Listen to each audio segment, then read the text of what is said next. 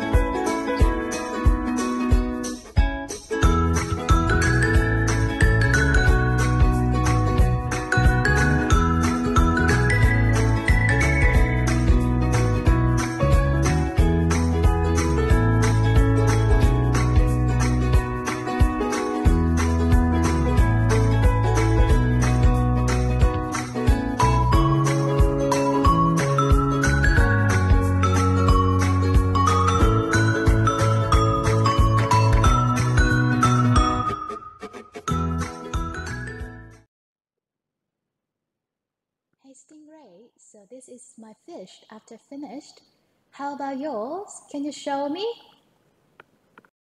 And Stingray, that is all we learned today about number six. And then you done a really good job. I hope you had fun and I will see you soon. Goodbye.